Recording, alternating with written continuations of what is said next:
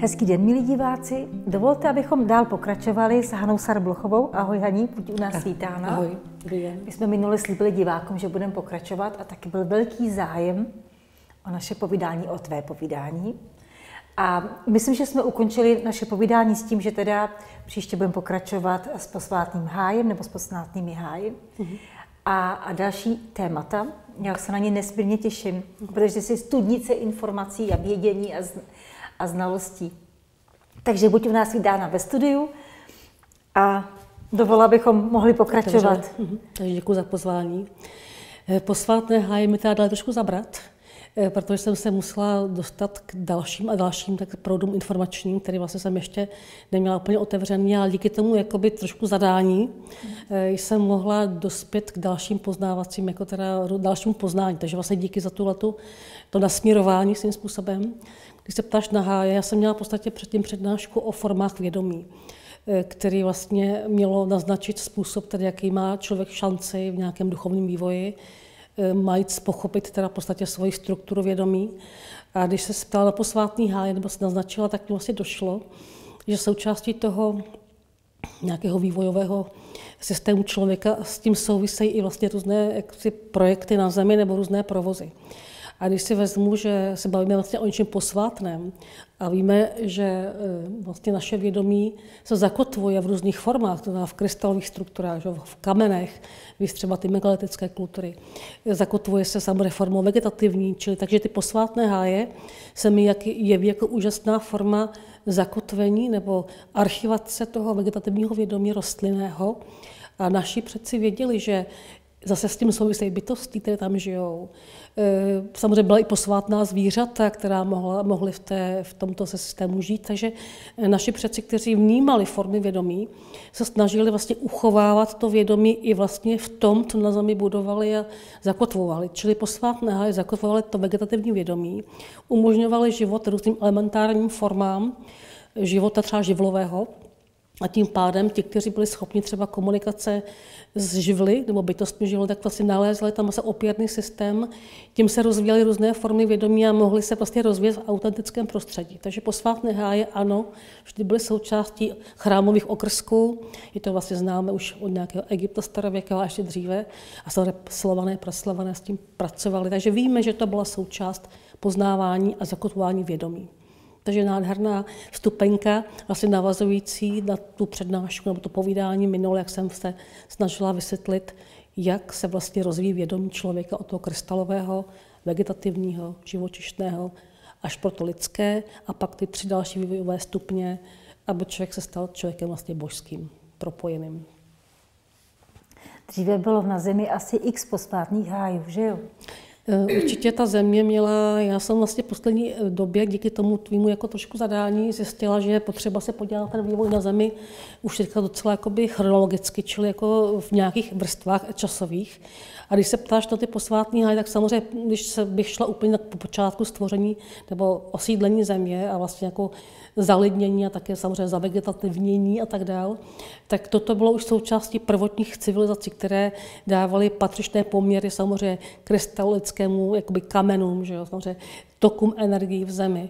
Současně, osí, současně tedy samozřejmě eh, osazování země a různými tedy eh, samozřejmě rostlinami, že stromy. Čili když to vezmu úplně jako, skoro řekla bych možná, teďka už to bude vypadat jako až um, skoro biblicky, eh, pokud tady země byla připravena proto, aby byla znovu teda užita vlastně pro nějaké osídlení, tak součástí toho osídlování živými tvory bylo také osazování té země eh, různými rostlinami a organismy. Eh, a tím pádem to byla naprosto důležitá součást toho celkového jaksi úpravy povrchu země. Takže ty posvátné háje, říkáme posvátné dneska, že vlastně byly součástí nějakých chrámových okrsků, ale na počátku takzvaný ráj, symbolicky řečeno, že však ten ráj to je taková připomínka toho původního osidlování a zalidňování a vlastně i zavegetativňování, nám tady ukazuje, že pouze v harmonické přírodě, která má vyrovnané složky kamene, rostlin, živočichu a člověka, je vlastně vzniká harmonické prostředí, které kotví všechny formy vědomí. Takže těch posvátných hájů bylo jistě mnohem více než dnes, protože eh, tohle to vnímalo důležitost toho světa. tak by to asi vidělo dneska, no, trošku tak. Mě by zajímalo, jestli po těch zaniklých posvátných hájích jsou ještě nějaké otisky, nebo že tam zůstaly otisky, třeba část vědomí, která tam byla zakotvena. Eh, takhle, všecko, co bylo jaksi vneseno do systému, síťového systému, zůstává. Zůstává ve formě ideje. Ta idea je vlastně jako vždycky nadřazena tomu vznikajícímu, tedy jaksi hmotnému. A pokud se bavíme vlastně o té způsoby, vlastně, jak, si, jak se tvořila země, jak se, jak se vlastně povrch dotvářela, potom osidloval nebo říkám upravoval, tak na počátku musely být právě ty formy, ty ideje, jak si už dávno vytvořeny a teprve byly naplněny ve hmotě. No a pokud ta hmota zanikla, tak ty ideje zůstávají že jo, v tom jako sektoru vyšších frekvencí. Otázka je, jestli člověk v rámci svého jako vývoje, v rámci té degradace vlastně osobního vědomí, třeba jak si má ještě k těmhle těm formám přístup. Jestli může znovu stahovat nebo napojovat na ty systémy eh, původních sil a tím vlastně dotvářet tuto realitu v současné době. To je otázka spíš té vývojové fáze toho člověka, jeho vývoje, ale kdybych byla Kdybych udělal abstraktně, tak ano, všechny formy i těch posvátných hájů tohoto vědomí jsou vlastně v tom poli informačních zachyceny. A je možné se na ně znovu napojovat. Takže jestli něco zaniklo, když vezmeme jednoduše, pokud země prodělala nějaké katastrofické události, čili celý pláž byl sežehnut, Eh, byl prostě převalen vlnami tsunami, tak jasně zaniklo všecko, že jo. Musela být země znovu osídlena, musela být znovu se osázet rostliny a tak dále, tak jistě eh, moudří předci to dělali v nějakém kontextu toho původního, pokud to vědomí ještě měli otevřené. Pokud to měli otevřené, tak viděli, že jistá místa potřebují tuto formu, tak tam vznikaly posvátné háje. Některá místa byla spíše určena pro vedení energie v zemi, takže třeba nějaké energie terestrické. A pokud to bylo určeno prostě pro nějaké třeba lesy a šamanské technologie, tak zase vznikaly jako věci, které sloužily k tomuto otevírání vědomí. Ale celkově si myslím, že e, lidi nebo lidstvo, které se znovu jako bylo nasazováno na zemi, která prodělala globální katastrofu, tak ty kurátoři, jak bych je nazvala, kteří se tím zabývali, jistě respektovali Eh, jaksi původní formu osídlení a vlastně úpravy země. Tak bych řekla, že ti moudří to dokázali znovu jako zrevitalizovat. Máš nějaké doklady, že do dneška se zakládají posvátné háje? Já tomu spíš takhle trošku jako, ono, to je na mě moc praktický, já nejsem zahradník, tak znamená, že v podstatě spíš chci říci, že poslední taková éra, kdy se opravdu ty posvátné háje stávají součástí chrámových okrsků, mm. tak je vlastně doba, kdy zaniká teda taková ta vyspělá třetí horní éra a my víme z pramenů, že třeba součástí třeba atlantského chrámového okrsku byl posvátný háj Poseidonu, který měl v sobě horké prameny, že jo, který měl nějakou strukturu kameniva. Čili my máme z pramenů do, doloženo, eh, že po té poslední hvězdné válce, vlastně když se znovu osidlovala země, a to je právě krásně teda popsáno i v pramenech, to bych měla asi zmínit, že tady existují Platonovy dialogy Timaios a Kritias, a tam je vlastně popsána taková zvláštní fáze zalidňování a vlastně země po katastrofě, on tam ten egyptský kněží, prostě egyptský kněží, kteří vlastně zaznamenali nebo uchovali v paměti, v těch chrámech tyto paměti, historie lidstva, tak vlastně sdělují Solónovi, což byl řecký filozof nebo mudrc, 7. století před naším letopočtem, sdělují základní informace o Atlantidě a o válce Atlantidy proti Evropě, kde vlastně Heléni řekové vlastně zachránili Evropu Atlantidou. A tady je zajímavé, že vlastně on tam popisuje v jedné části toho díla, které se dochovalo jako fakt jako reálně, způsob zalidňování země. E, to znamená, že tam píše, a vlastně, ale nejenom zalidňování, ale právě osazování jo, těmi různými organismy. E, tam se píše, že po nějaké události, která nebyla úplně specifikovaná, bohové, bohové, máme tím dostat bohové bylicky, dejme tomu nějaké výsadky kosmické, že jo? jak jsem o tom bavila se minule, eh, losem si rozdělovali povrch země, losem. Je tam poznámka, že ne prostě agresivitou nebo nějakým bojem, ale losem. Zajímavé je, že v té Atlantidě se popisuje, že na území Atlantidy měl přijít prostě Poseidon, pak byl zboštěn logicky.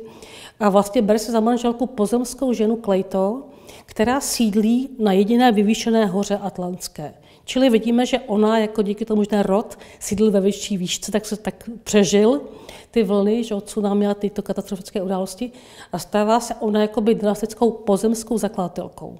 Což je taková ta teorie nebo ten vznik toho, jako teda těchto těch eh, nových útvarů na zemi civilizačních. Samozřejmě nebudu se bavit o zániku Atlantidy, to je jiná kapitola, ale co tam je psáno krásně, jakým způsobem byl koncipován atlantský chrám, čili posvátný okrsek.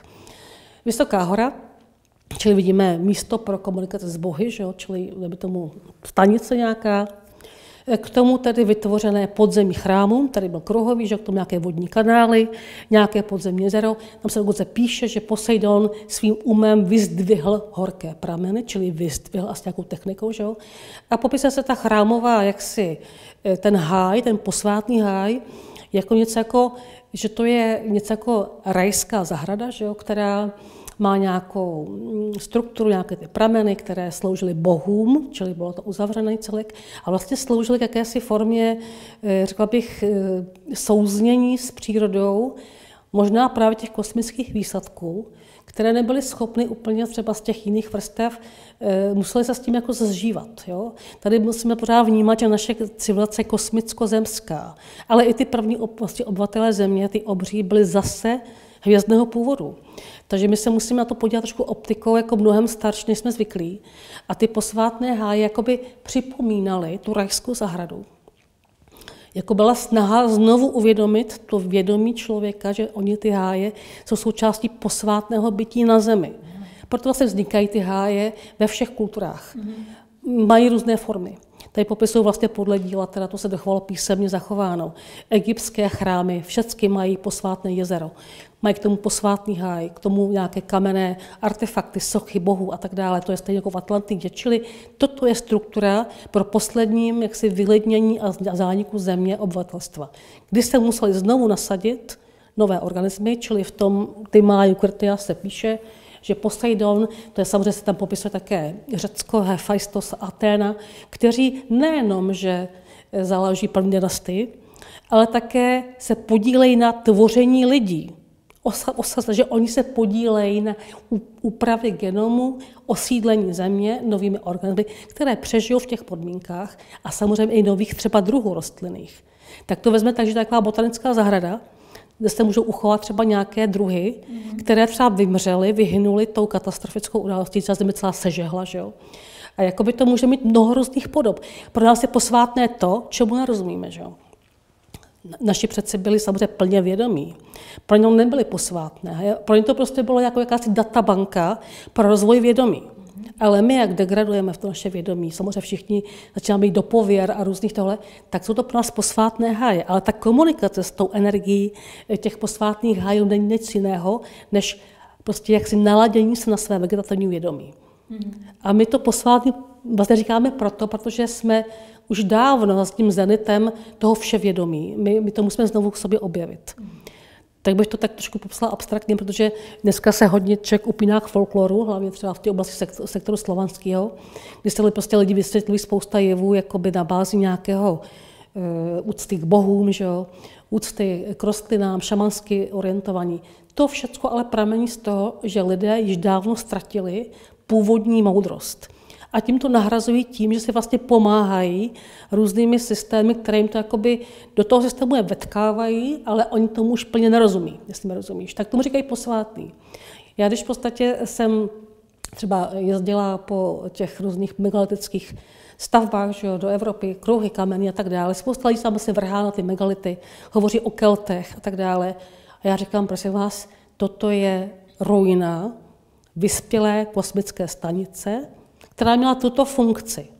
No jo, jenomže ještě nedávno jsme si vůbec nepřipouštěli, že bychom mohli být kosmicko-pozemského původu. Že jo?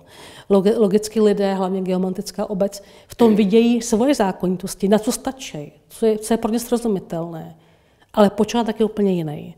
Ty energie, které tam byly zakódovány v tom systému, se částečně degradovaly, ale něco zůstalo. Takže předci byli schopni načíst zbytkové energie a dávali tomu podle svých schopností různé významy. Samozřejmě, že posvátnost znamená, že tam je možné se propojit nebe země. to je ta posvátnost, že to je komunikační jaksi zdroj pro rozvoj našeho vědomí. To je jediný, jinak všechno ostatní jenom folklor. Já jsem měla mám takovou zkušenost, že jeden známý mi, já vždycky, když někdo někam cestuje, tak poprosím, aby mi přivezli med, protože já miluju med. A přivezl mi med z Libanonu Ano. a mimo jiný koupil ten med ještě v posvátných háj, tam jsou Ty cedry. nádherné cedrové. Ty cedrové háje. Mhm. No, myslím, neříkala jsem o tom. Ne, neříkala jenom, že ten cedry jsou tam No, no, no, no. pověstný. No. A mm, tak já jsem ho teda ochutnala, říkám, ten med je neuvěřitelný, měl takovou sílu Mhm, a, a tak, tak takovou výživovou hodnotu, mhm. že jsem říkala, já jsem nikdy lepší med nejedla. Čili eh, na vlastní kůži jsem zažila, Mhm, je to propojené. že teda ta energie tam je, stále tam je a i v těch produktech toho posvátného jasně. háje. To říkáš úplně přesně. Když jsme u těch včel, tak to bych možná tady se odrazila No, dalšího to je systému. další věc, včely. No to s tím právě souvisí, že včely víme, že oni vlastně mají jako, vytvářejí speciální formace jako organizační, ano. že bázi teda těch, eh, těch hexagonů. A když si vezme, že celý kosmos, celá veškerá prostě tvůrčí struktura je postavena na síti nějaký, která má eh, nějakou jakoby základní síť, která se vlastně vetkává podle posvátné geometrie nějaká realita, hmotná realita, zastavení v čase, eh, tak včely byly uzná, jako vlastně chápané jako velice řekla bych, posvá, posvátné zvíře. Pro mě to je Jak v Egyptě, zvíře, teda ano. samozřejmě tak všude v těchto kulturách, neboť je vnímal jako tvořitelky na základě posvátné geometrie, čili pro ně vidíme, že i ten hmyz, který vlastně zase má formu vědomí. Když člověk je vnitřně propojený se všema formami vědomí, tak pro něj je všecko propojené. Může komunikovat s rostlinou, může komunikovat s včelou. A pokud ty včely, jako vědomé bytosti, které jsou samozřejmě postavené na opravdu, jako řekla bych, v nějakém systému, pracují opravdu s těmi nejvyššími jaksi projekcemi posvátné geometrie, díky tomu, jak tvoří i ten med a všecko, tak oni vlastně do toho medu dostávají to vědomí. Přesně. A to je přesně, že když ještě se oni berou ten, ten nektar zase v oblastech, které jsou takhle ošetřené, tak pak se to vlastně násobí. Přesně. A tím pádem, ano, člověk poznává, co je frekvenčně nebo eh, energeticky výživné a co je plitkec. Takže ono to všechno pořád souvisí s těma formama vědomí, jak jsem o tom mluvila minule. To je pořád stejný mechanismus. Je tady idea, která tvoří, a pak tady hmotný otisk. A aby to bylo propojené, tak musí být ta, energie propojená. Co je posvátné, je, je propojení nebe země. Když to je propojené, jako včela prostě tvoří eh, v tomto systému, tak pak to člověku přináší kompletní jaksi plamen v něm a oživuje ho. To je vlastně zákon eh, duchovního vývoje na všech úrovních. Spojíš se s kamenem, dáš tam třeba, když třeba komunikuji s kamenem, komunikuji, pracuji s kameny, s krystalovým vědomím, tak já přes zvuk samozřejmě rozvibruji a oni ve mně zpětně tou rezonanční prostě rozvibrují moje vnitřní vědomí krystalů krystalické. A tím já pádem se můžu navibrovat na původní civilizace. Já jsem zjistila, že pokud se chceme dozvědět o těch nejstarších civilizacích, musíme začít o krystalových technologií. My musíme začít od toho formy krystalové DNA, protože já jsem tady jsem vlastně vzala zase knížku, ona je už, vypadá to, že už je vlastně jako dávno vyčerpaná, ona je stará 11 Tady let. ukážu na kameru, jestli 11, můžu. 11 let je stará. Je to kniha, která vlastně se zrodila v roce 10, čili máme nějaké 10. 11. výročí objevu, tedy jak si civilizaci zanikly na našem území. A přesto až dneska já vlastně zjišťuji, že mi přicházejí odpovědi. A když jsme u toho krystalického vědomí, tak si vlastně vezmeme, že mě vždycky překvapovalo, proč naši dávní předci, ti obří předci, ty prvotní jako obří civilizace, jsou propojeny svým pohřebním výbavou s nějakýma krystalama. To mi nedocházelo, já tam tu pohřební výbavu vlastně mám zapsanou. A teprve teďka až mi dochází, že oni vlastně jsou držitelé krystalické DNA. Mm-hmm. Že vlastně jedině krystal dokáže zakódovat formaci DNA prvotních civilizací. Taková fleška, veď, kterou si sebou... Je to vlastně, ano, je hrobu. je to vlastně jako vibrační, vibrační Ano. otisk v tom krystalu. A když si vezmeme, že vlastně jak dneska fungují ty technologie, dneska ty, ty že jo, všechny ty nanotechnologie a e, samozřejmě převod zvuku a tlaku a tak dál, tak je to vlastně úplně prvotní technologie, no, prvotní jaksi e, práce na Zemi, kdy naši předci, kteří nám tady zanikli e, opravdu dávno a my je vlastně ani nějak nehledáme většinou, protože archeologové mají tu představu o tom vývoji jasnou díky Darwinovi. Ale my dneska už musíme vnímat ten vývoj od počátku. A tady bych právě chtěla říct, že zatímco se ptáš na posvátní háje, které jsou v druhou formu vědomí, tak tady ale je předtím zakódované celé to poselství v tom jakoby svidutým dimenzi. Když to vezmu, tak vlastně, když to je rozvinuté, tak je to až tomu božskému. Ale pokud je svinuté do toho, jak si ty, ty, ty technologie, tak v tom krystalu nebo v tom nějakém je zakódováno úplně všecko. I to vegetativní, i to živočišné. Čili když třeba jsem teďka zjistila, že konečně se mohu dostat k té, jako řekla bych, rozkrývání toho vědomí těch obřích civilizací, tak já zjišťuji, že vlastně oni všechno za, zakódovali nebo svinuli do té dimenze krystalu.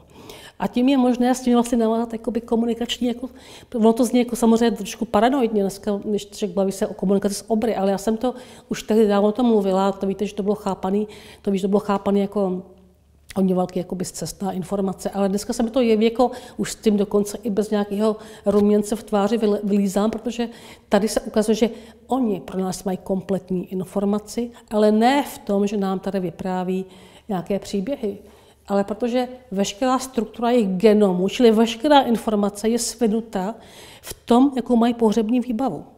To znamená, že to zní samozřejmě až možná trošku zase až moc, ale když to takhle do, dokreslím, eh, tak eh, Víme, že se dá komunikovat eh, samozřejmě telepaticky přes třetí oko, ale nejenom přes, ale dá se i dvojkou, čtyřkou, že ty tři čakry, takzvané kalichy slova, jsou fluidní, jsou v podstatě jaksi vývojové, jsou, jsou to vlastně energie, které jsou proměnlivé a tvořící, ty tři kalichy, ty, ty tři čakry, dvojka, čtyřka, šestka. Pokud se eh, naši, naši předci byli hodně silně, vysoce vědomí, byli schopni vědomí svinout do krystalu.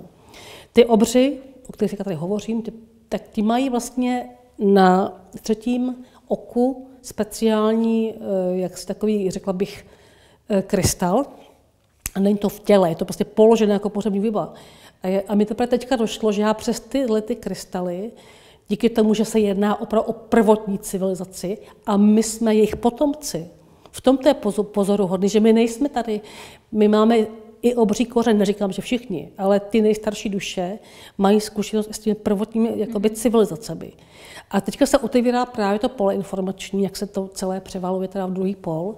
A my můžeme až teprve teď se podívat nejen až do Atlanty, to je strašně mladý, že jo, Lemurie, to je pořád mladý, to třetí hory, ale až k tomu prapočátku osídlení země, to znamená k těm obřím civilizacím. A to mě fascinuje. Já vlastně nacházím teďka spojnici eh, k tomuto prapočátku lidstva na Zemi. A k tomu tady mám několik takových opěrných systémů, které bych asi možná mohla trošku rozvést, aby to nevypadalo, jako že to je úplně nějak vycucaný z prstu. Eh, je tady několik takových speciálních podporných systémů. Jinak to je prostě mytologie, mytologie takzvané bílé rasy. Je tady, já jsem tady vlastně chtěla zmínit vlastně se až k těm praslovanům, protože tady se hodně rozvinula taková ta e, jakoby neoslovanská linka a lidé samozřejmě navracejí těm svým pohanským kořenům, ale ono to je potřeba dostat mnohem dál k tomu prapůvodu, protože naše, naše jakoby náš genom, prapočátek vzniku na Zemi je opravdu bílá rasa, která byla obřího původu a nemá původ tedy na Zemi. To logicky Země, jako mnoho planet jiných, bylo osídleno a vlastně bylo opra- upraveno k tomu, aby bylo, aby bylo obyvatelných. Je to vlastně galaktická výměna. Jo? A když si vezmeme, že třeba já teda teďka stahuji ty výzkumy konkrétně teda k souhvězdí takzvaného velkého orla, že orel souhvězdí dneska po těch všech různých rozpadech a posudech kosmu tvoří čtyři souhvězdí, které se vlastně rozparcelo, to velké souhvězdí Orla, na Labuť, Liru, Rys a Tur. To jsou čtyři souhvězdí, které vlastně původně byly jako v jednom. A já jsem byla velmi šťastná, že jsem vlastně díky vlastně nějaké navigaci, se jakými dostali výzkumy podmořského dna Atlantiku. Eh, ruský Čudinov profesor vlastně mapuje takzvané geoglyfy. Geoglyfy je vlastně, co máš třeba plavnina Naska, která má na, tom, na ty letištní ploše ty různé zvířata, navigační, že ty dráhy. Tak podobně Rusové dneska dělají velké podmořské výzkumy, ale také sibirské výzkumy, kde zjišťují, že mají vlastně na tom povrchu nějaké záznamy. A ty záznamy tady konkrétně na dně toho Atlantiku, tam tenhle ten profesor objevil vlastně potopaný kontinent, který nejenom, že tam jako teda to vztahuje k té původní bílé rase, je obří, ale také dokonce on tady hovoří o obrech, on to vztahuje k praslavanům, ale já to ještě potom dostávám dál právě, až těm obřím civilizacím. E, tady jsou konkrétní výjevy, čili je to vlastně dělané jako obrazy, které jsou buď to podobně jako natlepané na savryté nějakou technikou do země, Není jasné, jak to teda vznikalo, ty jakými technologiemi, ale tam jasná zpráva, že stvoření života na Zemi je kosmického původu. E, proč to takhle vlastně říkám? Je tam jednak to, tři základní, tam jsou takové jakoby obraz, obrazy, které jsou doprovázeny runovým písmem. Tady já se pak dostávám k tomu severské mytologii, runové písmo. Runy, to znamená runy je písmo, vlastně, je to vlastně takové, řekla bych, e, technické písmo, které všechny ty runové symboly vycházejí z hexagramu, nebo z hexagramu, jako, a hexagram je pro nás jako základní informace pro Zemi, že tady je nějaká dualita, která se vytváří, sjednocuje na bázi dvou trigonů, mužsko-ženského trigonu a vzniká hexagram. Veškeré spirituální nauky pracují s hexagramem, s Merkabou, jo, s projekcí e, šesti bodů, protože sedmý bod naší mysli už je jaksi prostupný do vyššího frekvenčního pásma. Co z toho vyplývá? Že vlastně tady jsou jednak zobrazeno stvoření člověka, kde tam máme ohnivou kvalitu, která je symbolizována třemi hlavami božskými, jako triglavem. My víme, že triglav je součástí slovanského panteonu.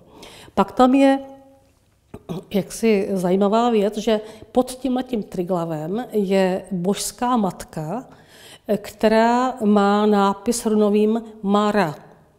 Mara, božská matka. Ono to všechno Mara, Marie. Jo? Vidíme, jak to ty národy přebírají v té historii. A vedle té božské matky máme dvojčata. Jedno z těch dvojčat je nazváno Jar, božský syn. Vedle něho je dvojče, to je pozemské.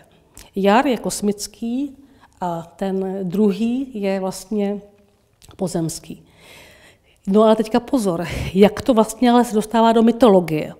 Tady ten čudo se zaměřuje nad, zamýšlí nad tím, jak mohly řecké mýty převzít tuto strategii zaniklé Lemurie, praslovanské písmo, do svých prostě mytologického otisku, protože řekové, ty Heléni, kteří bojovali s těmi Atlantianami, jak jsem o tom bavila se, tak oni vlastně mají mýtus o dvojčatech Castor a Pollux, kde vlastně máme symbolickou lé, je to vlastně ten výraz, ten, ten, vlastně ten mm, obraz léda slabutí, kdy Zeus, který vlastně na zemi je překrásná žena, eh, která by stála za hřích a Bůh se vtělí v labuť a oplodní tu lédu a ona vlastně pově eh, teda jedno to božské dvojče. A se svým manželem pozemským pově, pově druhého kluka, je to Castor a Pollux. A z těch dvou se stalo nerozlučná dvojčata. Tento mýtus nám naznačuje několik fenoménů. Jednak tedy, že jak vznikl člověk pozemský, že tam je otisk ideje božské a pozemské formy. Současně ta labuť tady symbolizuje, odkud se teda vzala ta prvotní impuls, že jo, v podstatě. No a ten Zeus, jako, nebo ten tam se symbolizuje tu trojedinost toho božství. A ta Mara, jako božská matka, když se podíváš, tak je to hodně jako přes kopírák s křesťanstvím, že jo. Taky tam máme slunečního boha, božská matka, trojediný Bůh, že jo. Vidí, ono se ukazuje, že tady ta celá, jakoby, jak bych to řekla, celá takový ten impuls jako stvořitelská jakoby mýtus je pořád ten samý. Mm-hmm. A to je otázka teda toho, až se podívám, já jsem právě říkal, to je nádhera, takže máme doklad toho, že máme doklad. Za prvé, souvizdí labutě, že jo, Léda jako božský impuls trojediný, čili božská trojedinost, dvojice jakoby synů, jakoby teda božský a vlastně i ten pozemský, v tom je tolik nápovědy. Jo? A pak jsem se právě díky tomu, že jsem se dostala do kontaktu s kamarádkou, která se zabývá severskými mýty a vlastně i runami, eh, tak jsem se dozvěděla vlastně od ní další souvislosti, které jsem nějak neměla moc nastudované, protože jsem nikdy ty severský, eh, ty runy nějak s tím nezabývala. Eh, já se zabývám těma praslovanskýma runama, to pak se vlastně k tomu ještě možná dostanu, k tomu Horákovi.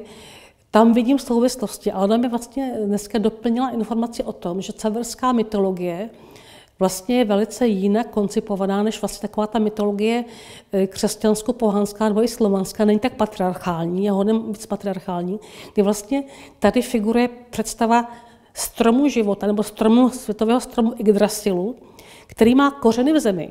A v těch kořenech žijou tři obrině, norny, mm-hmm. a ty norny zpřádají osud. A zajímavé na tom je to, že ten, vlastně ten, ty norny, které dělají tu síť toho stvoření, to známe od Hopiů, že jo, to známe vlastně i od Indiánů severoamerických, že oni hovoří o tkaní osudu, a když si vezmu, že vlastně se v Egyptě tady máme nějaký chrám sítě, kde vlastně ten Solon získává informaci o té Atlantidě, pak ji dává Platónovi. Ten chrám v té deltě Nilus nazývá prostě chrám sítě, tam bohyně Neit, která zase je to tkadlena. Tak se ukazuje, že ty severské miny nám do, dokládají, že to je zase doklad v tom mýtu toho stvoření. A tam je pozorovná ještě jedna věc, to mě úplně dneska fascinovalo, že ty, ten strom života, ten Yggdrasil, znamená, já jedu vozem. Tak ty kosmické výsledky musely se nějak spustit na Zemi. Že jo? Čili Odin jako bůh, zboštělý člověk, byl se kosmonaut, když to řekl zjednodušeně, že jo? Ty tři norny, ty obrně, jsou původní obyvatelé, kteří byli na Zemi, že? ale současně tam ještě máme jezero, nebo rybník, který je mléčný, plný mléka, a v ním poblíž jsou dvě labutě. No jenom, že Labuť, souhvězdí Labutě, je, my dneska jim byly dvě základní souhvězdí, které byly prostě spolupracovaly, nebo aspoň jsem takhle jako dostala ty informace. Eh, Lyra a Labuť jsou souhvězdími. A když se vezmeš vlastně Lyra je zvuková kvalita toho souhvězdí, takže tvoří zvukem. A Labuť dává tady jaksi formu čistoty nebo toho živového tvoření, tak vlastně ty dvě labutě symbolizují původní souhvězdí Labutě a Lyry. A vlastně v té mléčné dráze, oni severaně říkají, že ten rybník nebo ten mléčné jezero je středem galaxie. A my víme, že Labuť vlastně je velice významným souhvězdím, souhvězdí vlastně v mléčné dráze. A my vlastně máme tím pádem určeno, odkud pocházíme. Ale ne v tom malém těle, ale od prapočátku. A co je na to ještě nepikantnější, tak vlastně eh, teďka se ukazuje těmi výzkumy kosmickými, že souhvězdí Labutě Existuje planeta nebo hvězda, nevím přesně teda, jaký má zařazení, eh, nazývá se Kepler a nějaká k tomu číslo, to mi takhle upozornila kamarádka Iva. A ona má velice podobné podmínky jako na Zemi. To znamená, že ona má tam jako i vodní, má tam prostě přednost vodní složky. A my že voda tvoří, že bez, bez vody nemůžeme existovat. Jo? A tím pádem ta planeta, která má třeba něco větší, ale má podobnou gravitaci, možná trošku jinou, má jinou, takhle, to je důležité, má jinou gravitaci, ale má stejný živlový zastoupení. Tak zřejmě to je to naše mateřské jakoby teda hnízdo. A ti první obři, kteří tady osídlili vlastně ve čtyřech rasách naši zemi, řekla bych, že byli sem do, asi donešeni z tohoto souhvězdí, tak oni nám tvoří první kalpu. A my máme, ty, my máme v tom genomu toto všechno zakódované. Samozřejmě, že po těch genetických úpravách, po těch katastrofách asi to není přímo zakódované v té hmotě. Ale my víme, že se na Zemi buď to inkarnujeme eh, pod nějakým jaksi šémem, ale naši předci také uměli teleportovat. To znamená, že jsou dva způsoby pobytu na Zemi, tehdejších civilizacích, právě toho labuťanského systému. Ti, kteří byli inkarnováni, tvoří základ pozemského genomu. Ti, kteří byli teleportováni, či byli schopni po, té, po tom stromu života, tom Yggdrasilu se spustit, po té ose světa Axis Mundi, tak mohli být tou duchovní jaksi, tou linkou, takže pokud tady existuje záznam eh, v kosmu, že tady je věc pozemská v genomu, různě znehodnotná těmi katastrofami, tak ale někde jinde v tom poli ideí je zakodovaná kompletní informace našeho původu a my se teď vlastně k tomu znovu jako vracíme. Takže se to proto otevírá to vědomí takhle, protože my zpátky jdeme proti času a jdeme k, k, ke svému původnímu jaksi nastavení tím pádem k rozvoji vědomí. Na ti obři samozřejmě byli počátku byli vysoce inteligentní, nebyli nějaký jak se skijem a chlupatci, že jak to v pohádkách vidíme, to byly samozřejmě velice jaksi prvotní obyvatelé, kteří měli tu moudrost přímo jako zakódovanou jako z toho prvotního vrchu. Že jo. A ta dvojčata na, tý, na tom potopeném jaksi kontinentu, té Lemurie, jak ten Čutinov předpokládá, nám to ukazují, že vlastně máme ideu, božský syn, a k tomu teda pozemský syn. Dohromady tvoří božského člověka, jo? že vlastně ten systém je takhle propojený. No a ta božská matka Mara, většině tvořící ženský princip na bázi tkaní, božská tkadlena, že jo? která tvoří síť, do které vlastně se vnášejí, zakodovávají ty ideje. No a to je to, co musíme pochopit, že všechny ty mýty a to mají stejný slované, že jo? Kdo to je vlastně sluneční bůh, který se rodí na slunovratu? Samozřejmě to sluneční bůh, božský syn, kdo je ta matka, která ho vlastně porodí po té, co je vyvolená a tak dále, zase božská matka, čili je to pořád ten systém. Bohové oplodní pozemskou ženu, aby šlo ke spojení dvou forem, kosmické, pozemské, ale to pozemské je vlastně od počátku božské. To nevzniká z hmoty, z nějakého válení bílkovin v moři, jak říká Darwin. Tak to nefunguje. To je idea, která, se, která vlastně dotváří hmotu. Všechno funguje tak, že idea tvoří hmotu. I duše, která se inkarnuje teďka, tak si přesně nasimuluje tělo, které chce. To není tak, že by si skočila duše do nějakého libovolného těla. Ona si nasimuluje svoji formu, aby v ní mohla být tvůrčí a udělat to, co si přece vzala jako za svůj úkol. Takže všichni máme danou fyziognomii, ne podle toho, samozřejmě rodově také, logicky, ale často právě tím posláním e, a otec ta duše, která tvoří to, to co své tělo. A protože ty rodové linie samozřejmě jsou pokre, byly jako pokrevní i e, jaksi ko, e, duchovní, tak můžeme tady zhledávat nějaké i fyziologické souvislosti, ale je, po počátku byla duchovní linka a ta pozemská v jednom. Ta, to rozhrávání na tu dualitu, která je mnohem mladší než teda prvotní systém, způsobilo to, že ty dvě polarity byly rozhrvány. To vlastně experimentální věc, ale my se znovu snažíme v rámci poznávání ty polarity spojit v sobě. Ale není to tak, že by to šlo takhle. E, to se rodí tím, jak my se prostě, jak ten plamen v nás hoří a chápe pozemské i to kosmické. Ale hlavně je, že jsme, musíme přijmout tu věc, že máme kosmický i zemský původ. Mm-hmm. Ale ta idea se rodí jaksi v tom nebeském sektoru, nebo tom kosmickém, a to, ta forma pozemská se rodí ve hmotném. A my to tvoříme. Mm, Hani, z tvého pohledu, jaký byl vlastně původní záměr tady vysadit civilizaci? O co, o, jaká tam byla vlastně ta hlavní myšlenka? Tady to je tak, že když se podívám třeba na úpravu země, já vycházím z toho třeba, co jsem teda e, konkrétně našla při výzkumech na naší, teda hlavně na našem území, e, tak mě zaujala jedna věc, že celá země, nebo aspoň oblast, které jsme zkoumali, je, je speciálně upravená tak, že vlastně jsou tady nějaké kamenné stěny harmonizační, nějaké rozvrstvení posvátných obrazců, třeba propastí, hor, ty dokonce mohou být i tak nějak srzány, nějakého pyramidálního tvaru.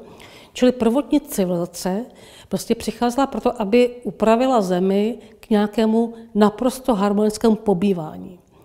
A k tomu harmonickému pobývání sloužil nejenom jaksi úpravy geologického povrchu, vkládání krystalů do různých sektorů, aby vulkanická část byla upravena. S tím souvisí právě i to osazování lidmi, rostlinami, zvířaty. Čili taková skoro řekla bych, eh, když bych byla úplně jako konkrétní, tak my to máme popsáno jako formu stvoření, že jo? Mm-hmm. Genesis. Samozřejmě velice primitivně nazná. Ráj na zemi. Ráj na zemi. Takže ještě budeme pomyslet, tak ráj na zemi. Takže ty první civilizace opravdu byly v souladu s tím záměrem té bohyně matky země, která byla partnerkou pro toho božského teda, jaksi, eh, tvůrce. A řekla bych, že to zní velice jako romanticky, ale prvotní civilizace byla tady proto osazena, aby vlastně vytvořila takzvaný ráj na zemi, čili harmonické pobývání v souladu se svým vědomím, přírodou a tak dále. No ale protože ve hmotě všechno zaniká, na počátku je ideální jaksi záměr, ten se vyvine, ale pak nás tam čeká ten pád do té hmoty. Všechno zaniká, to je egyptský hermetismus, nic, že se pohybuje, vibruje, vše zaniká. Jenom duchovní svět je věčný a nezaniká, ale ve hmotě všechno zaniká. Takže pokud na počátku byla idea, která byla takhle harmonizovaná, tak pak se musel logicky objevit další prvek se který to rozerval a způsobil pád. Ale pád v tom smyslu zase, já jsem o tom mluvila minule, to je vlastně sinusovka.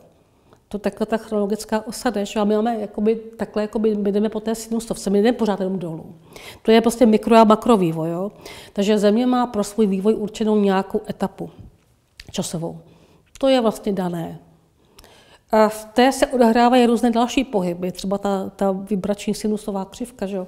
A to všechno souvisí s kosmickými jevy, že z galaktický rok, galaktický měsíc, o tom byla také řeč. Takže to celý je nějaký vývojový systém, aby se ten duchovní svět protiskl a získal nějaké zkušenosti. Tak to je celý. Všechno ostatní jenom jsou naše prostě mikropohledy na mikro, mikro moment, který jsme schopni vnímat v těle. ale ten dlouhodobý vývoj je mnohem, mnohem rafinovanější a provázanější, tak si myslím, že to v tom spočívá. No. Tak my jsme už nějakou delší dobu v hlubokém pádu a teď bychom pomalinku měli zase být na vzestupu, zatím to tady tak vůbec nevypadá na planetě eh, Zemi. To chce čas, eh, protože všechno potřebuje svůj čas. Ale co je zajímavé ještě říct si, to jsem chtěla doplnit, že vlastně v těch mýtech severských se už tehdy píše, že jo?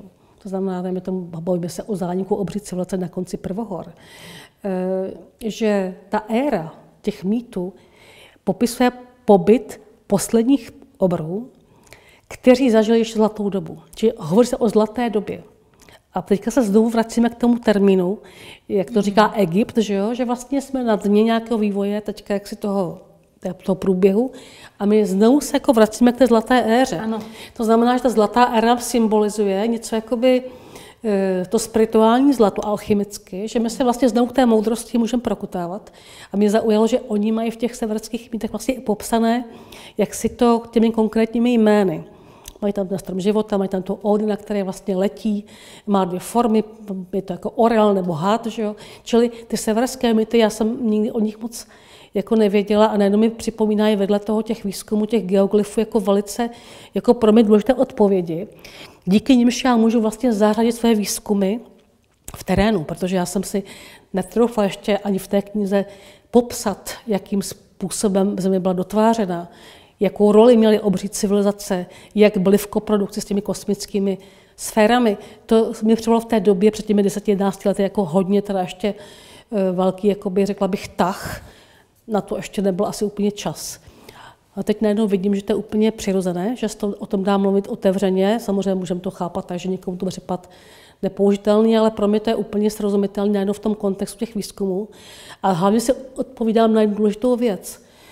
Když jsem nacházela ve skalách, eh, v našich horách, zbytky toho runového písma, ty runy, ty vystekany, které už dávno jsou v těch procesech zaniklí a často jsou jako už nečitelné, ale člověk je tam vlastně vnímá v tom otisku, tak mi dochází, že vlastně my tady máme jakoby opravdu zbytky runového písma, které vlastně popisuje dneska ten Čudinov, ale dávno předtím náš vlastně eh, badatel Antonín Horák, o tom také možná si slyšela.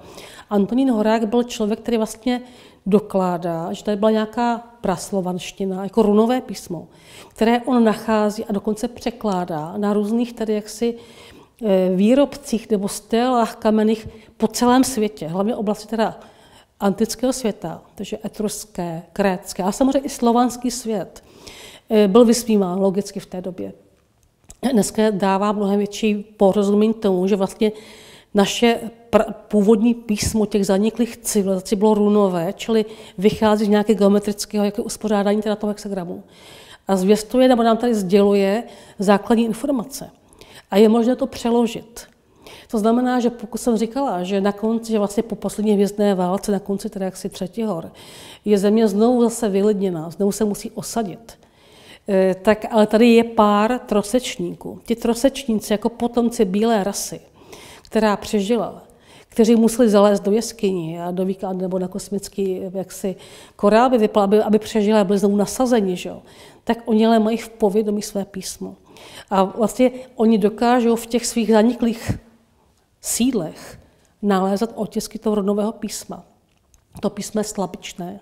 Horák tam dokládá, že existují vlastně tři formy písma lineárního, které on spojí s etrusky a s Krétou a dokládá, že vlastně etruskové, anebo že etruskové plus slované, ta bílá rasa, byli stejní jaksi trosečníci, nebo stejná jakoby éra, kdy vlastně ty slované, takzvaní praslované, zaznamenávají v tom písmu svoje konkrétní runové záznamy. A ty on čte. Prostě geniální tah doložit, že ti trosečníci, nebo ti takzvaná bílá rasa, která tady zůstává jako evropský relikt po té válce Atlantidou, že? a potom po té, co vlastně Atlantida napadla Evropu, že a vlastně řekové ji zachránili před tím, tou invazí ze západu, eh, tak celá Evropa byla osídlena. Já jsem šťastná, že můžu teďka tady o tom mluvit úplně otevřeně, že všechny ty nálezy těch vlastně těch eh, jakoby těch jakoby urbanistických, urbanistických celků, co jsme my jako nalézali s Jarouškem Růžičkou vlastně na celém území ty podzemní města, podzemní věže a zóny a kanály, že to všechno je doba atlantská, což zaniklo katastroficky při tom páru Atlantidy. Ale nám na těch horách zůstávají runové záznamy těch lidí, kteří v té Evropě žili předtím, než je postihla katastrofa. Čili to runové písmo, které Horák popisuje, Antonín, tak vlastně je dokladem té naší starší etapy. Té, která zanikla katastroficky. A to v tom je geniální. Čili my ty runy můžeme znovu jakoby z nich vytěžit tu informaci. A to on teda dělá. A chce pozorovně doložit, že vlastně ty záznamy, třeba ty antický od toho Platona, když tam popisuje, že Atlantida ovládala tady ten ostrov teda v Atlantském moři, oceánu a vládla Evropě až po Tyrhénii a po Egypt. A my víme, že Tyrhénie, dneska je vlastně zbytkem Tyrhénie Sardinie kde jsou zbytky podivné civilizace zvaná Nuragi, nebo tam jsou ty Nuragi, ty, eh, nikdo neví, co to bylo za civilizace, nebo na Krétě ty všechny chrámy velkých bohyní, tak my vidíme, že vlastně celá Evropa byla osídlena v té době, atlantské, civilizacemi, které zanikly katastroficky, a o nich nevíme. A oni zanechali otisky v těch runách. Jo. A to je geniální. My můžeme představit ty otisky těch run, vlastně se dozvídat o, své, o svém původu a úplně vynechat tu představu, že by tady nic nebylo předtím. Je to prostě opravdu nápověda nejvyššího druhu, protože pokud se, se dochová, dejme tomu, konkrétní záznam, i v tom poli informačním, tak my můžeme na to prostě postavit to další jako zjišťování ty naší reality až do té minulosti, do nejhlubší minulosti. Nekončíme pouze Atlantidou, jdeme dál až tím obřím kořenům. A ještě jsem chtěla jednu věc, že vlastně ten Horák mě fascinuje v tom smyslu, že on vlastně nejenom, že rodové písmo dokáže pře- přeložit, ale já jsem díky těm svým výzkumům, eh, co jsme dělali vlastně i s kolegou Ružičkou po naší republice, eh, a další lidé nám vlastně i posílali nějaké takové nálezy, eh, tak, se ty, tak jsou vlastně tyhle ty všechny runové záznamy zaznamenány, nebo jsou zmapovány, jsou vlastně i archivovaný. A na tom budoucí bratele můžou prostě postavit nějaký konkrétnější výzkum, až tady se trošku hnou ty zastydlý vědecký kruhy, že? Eh, tak se můžeme bavit o tom, že budeme zkoumat záznamy prostě kosmické v rámci ronových písm, vlastně v rámci své identity to budou jako, a genomu že? a tak dále. To všechno teďka úplně otevřený. Jde o to mít tu mysl otevřenou a dá se s tím takhle pracovat. Prosím tě, a eh, kdo přišel s tou informací, že vlastně to původní osazenstvo, eh, ty prapůvodní lidé na zemi byli praslované? Proč zrovna slované? To, tohle, a jak si vůbec říkali? No, takhle, to se takhle nedá úplně určit. Jako moje idea, kterou jsem asi dělala na světě, je taková, že tady je prostě prvohorní civilizace, která je obří. O obrech se píše, let kde v mýtech, i kostry jsou různě. Nikdo nepřipouští, že by to bylo tak staré. Čili to je jakoby idea, kterou jsem teda s tím jsem přišla před nějakými těmi 11 lety. Vůbec nenapadlo, že by to mohlo být spojeno s bílou rasou. Teprve v momentě, že jsem začala dělat letos výzkumy ohledně kosmických teda jaksi výsadků a různých teleportačních stanic tady na území republiky, kde se mi vlastně objevují e, ruiny jaksi stanic, které jsou spojeny se sovězdním Labutě, Alirou, což vlastně přichází jako informace, e, samozřejmě z jiných teda okruhů než teda z lidských, tak jsem začala říkat, aha, Labuť. Takže prvotně, že obři byla první pucl dávno. Novodobý pucl teďka je tedy jaksi, aha, spojení lira labuť. Tvoření živlový. A teprve do třetice mi to celé doplnila ty výzkumy toho Čudinova, který podle toho, co je napsáno těch podmořských nálezech, kde vlastně on tam má odpovědi, tam našáklází v těch novým písmu lira. Je tam třeba napsáno lira, jar, mara. Tak on jako tím výzkumem se domnívá, a je mi to třeba to rezonuje, že ta lemurie, on to tam dokládá podle toho těch záznamů těch runového písma, je pravlastí praslovanou, či to je jeho vize. Já ty lidi nenazývám, je to jedno, jestli to byly slovaní nebo jestli to byly já to je pro mě to je původní civilizace, ale on to tam jako vidí, tím jako dokládá tu velikou širou stepruskou, že jo, jako své předchůdce. On tam nachází to písmo, které mu přesně rezonuje s tím, co nalezají v Rusku. Takže tato myšlenka, že to byly praslované, je z tohoto okruhu. Pro mě to je prostě rasa, která tam byla od počátku a která vlastně má zakódované ve svém genomu nějakým způsobem teda odpověď na moje otázky. A všechny ostatní bílé rasy, samozřejmě ty novodobé, to znamená čtvrtohorní zalidňování, úprava genomu, všech těch různých x národů, že, které se objevují, e, jsou pouze zase genetické mutace, řekla bych, protože když se že Evropa, když se díváme na výzkum genomu, tak Evropa e, má, bylo doloženo těmi vývozkumem genotypu, má maximálně sedm jako, jakoby pramatek, které mají všechny jeden kořen v takzvané mitochondriální evě. Čili jedna pramatka sedm rozrodů. No tak to je přece jasná odpověď, že Evropa je vlastně osídlena z jednoho, teda jednoho, jedné, z jedné pramatky, nazývá se Eva pracovně, že jo? tam má původ Etiopii. Takže my jsme vlastně všichni zase jenom rozrodem jedné pramatky. Tak podobně to je se všema těma předchůdci. Vždycky musí, musí se, jak se víc nějakého genomu lidského a ten se musí nějakým způsobem upravit pro podmínky stávající na Zemi. Na to, že vlastně si podmínky komplikujeme, tím, jak tady válčíme a jsme agresivní, tak se tam ty podmínky zhoršují. Tak ty úpravy genomu jsou trošku razantnější a razantnější. A nebo případně ještě důležitá věc, pokud se nám tady chtěli udržet kosmické výsadky, a pokud se oni chtěli v těch podmínkách země usídlit, i oni museli prodělat úpravu genomu, protože by nepřežili. Mm-hmm. Takže genetické mutace jsou Přesně. spojeny nejenom s tím, jako, že jak jsme si zaneřádili prostředí, ale tady mezi námi vlastně, nebo v dřívějších dobách se ta inkarnace děla tak, že byly, jak říkám, teleportační stanice, kde se lidi takzvaně červí dírou objevili v systému, ale museli umět pracovat s podmínkama, čili museli zase oni nějak být ještě s tou genetikou seznámeni. Jasně. Takže ono to celkově ukazuje, že to je prostě všechno vysoké inženýrství, eh, aby jsme tady vlastně mohli v koprouci kosmicko-zemských podmínek přežít. A tím to celé vlastně odpovídá tomu našemu poznání, že my už nejsme přece pověrčiví, my nemusíme už tady mít nějaké bohy, kteří nám tady dvoří jako minulost. My prostě víme, že ti bohové jsou naši předci, kteří byli vysocí, eh, vysoce vyspělí a byli zboštěni. Že jo? Já přece nebudu věřit tomu, že tady máme nějaká božstva, která budou uctívat nějakýma kytkama. Já prostě vím, že jako budu přece jako vnímat se, já se budu uctívat jako ty síly, tu prastil, ten zdroj a tu božskou matku, ale ne pověrčivým způsobem, jestli mi rozumíš. Jo? Já to nechci snižovat, ale jak ztrácíme vědomí, tak uctíváme. Uctívači jsou neznalí systému. Já nechci být uctívač ani modloslužebník. Já chci prostě mít poznání, které vede k poznání Boha, ale skrze mě. Tak to asi tak zma, to by nás tak asi mělo někam takhle dovést. Jo.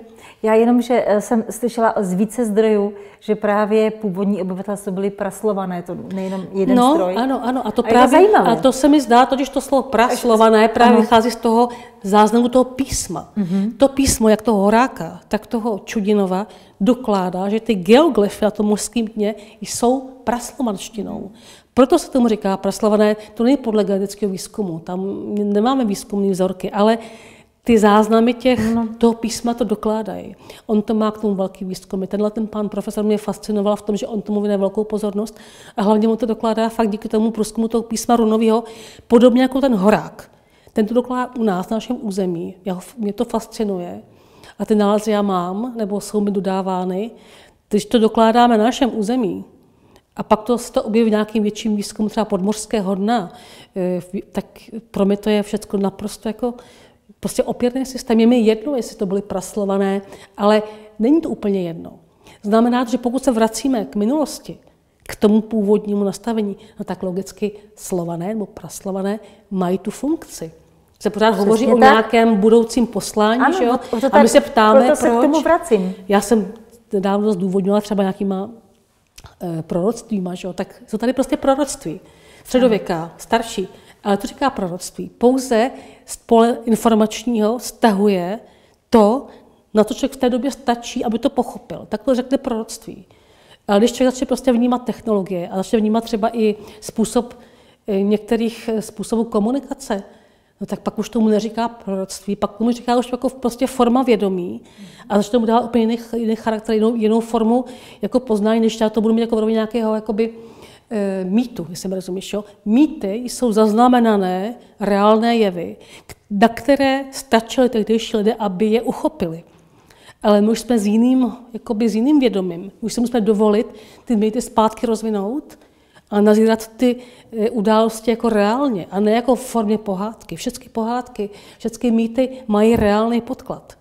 Akorát my, jak jsme zakrněli, tak jsme to nějak nepřijali. Mm-hmm. Teďka je doba to prostě otevřít a přijmout jako realitu. A tím se vlastně to stane pro nás reálný a tím to vlastně otevřeme.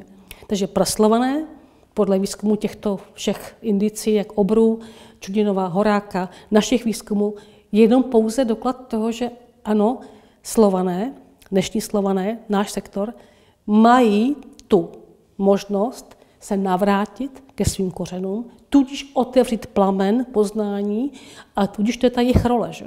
To není nic, co by způsobil nějaký mesiáš. To je o tom, že se díky tomuto poznání otevře vědomí vlastně lidech, všech lidí, jako jo, pokud budou schopni tohleto zažít. Hm? Myslím si, že eh, kněžna Libuše, jestli takhle můžeme nazvat, mm-hmm, nebo mhm, to jasně. bytí udělalo velkou práci právě pro naši budoucnost.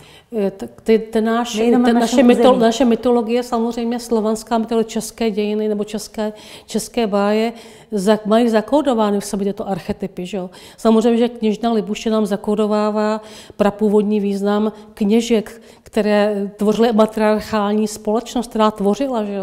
E, ten patriarchální systém, který to všechno jakoby převádí v druhý pol, nám ty věci jakoby zametá pod stůl.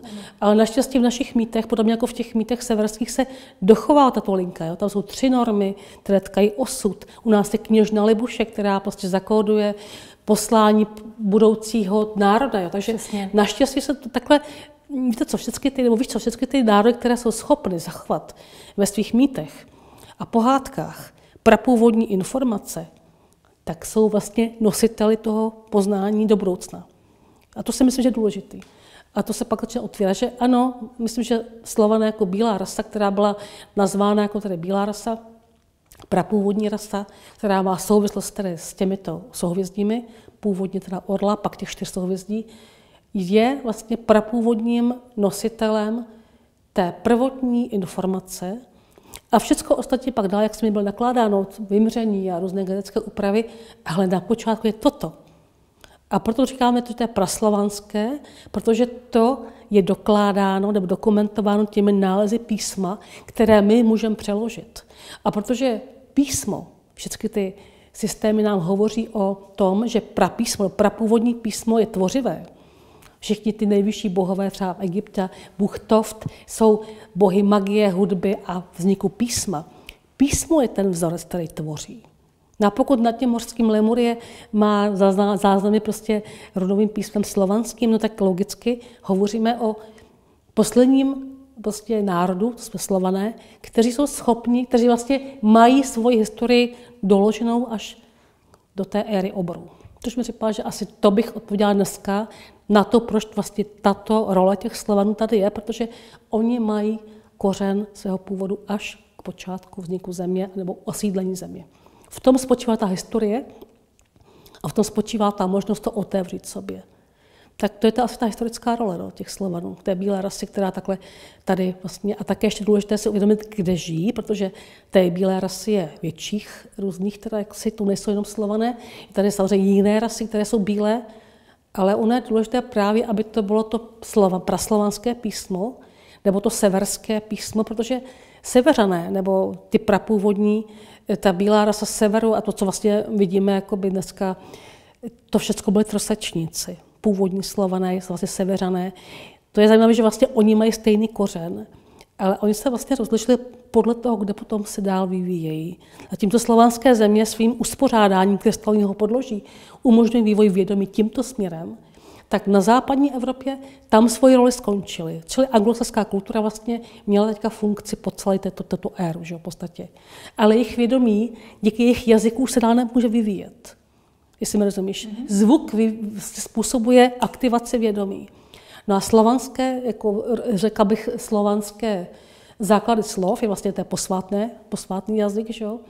Když se k němu jako vrátí ještě, ještě otiskem ty runy, tak na základě toho, že naše písmo je posvátné, samozřejmě říkám, že ledová řeč, ale to, tam jsou ty kořeny, a díky tomu vlastně se můžeme stát těmi nositeli Ne jakoby z důvodu jakoby vyvolenosti v tomto smyslu, jak to mají národ, tam byla řeč minule, ale díky tomu, že ten jazyk vibračně rozvibrovává dávné struktury v zemi, krystalové, posvátné háje, e, sektor ptactva a tak dále, kosmos a navazuje se na původní informační kanály až k té labuti a liře. V tom je ten systém, že vlastně my to jdeme do té minulosti, čili otáčení historie do minulosti nám dává šanci a roli pro budoucnost. V tom počívá takzvaná role slovanstva. To by ale znamenalo, že ten, kdo se inkarnoval jako Slovan, tak v té osekané DNA, kterou máme, ta je mm, jako jednoduchá, jasně. tak by musely být ještě zárodky té prapůvodní DNA, která byla určitě úplně jiná, složitější, mm. bohatší. Jasně, to určitě. To je, takže tady je taková zvláštní ještě jedna taková kapitola, která by se taky asi hodila, ale není to možné rozvést asi z časových důvodů. To necháme na příště. Necháme, tady se dá vznik duality.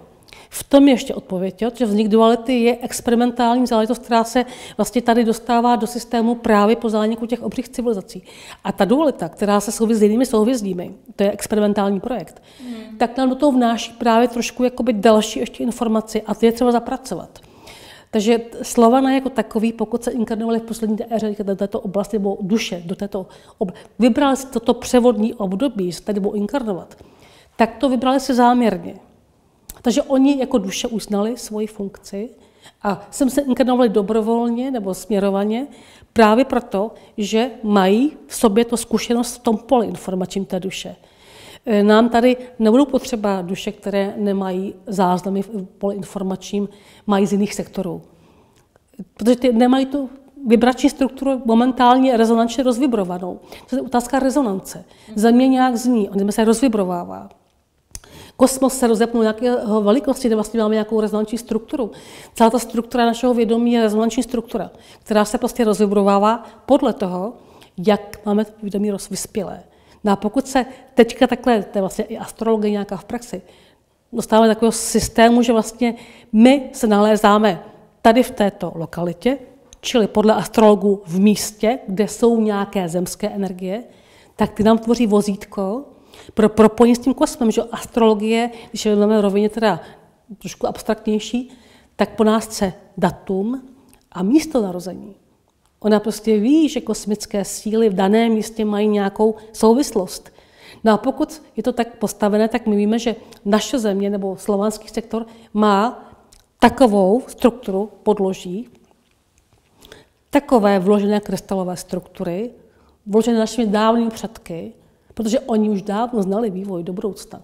Čili to, co je u nás v Zemi, případně zafixováno v kosmickém proudu, eh, v poli informačním, je už dávno, dávno, dávno předurčené.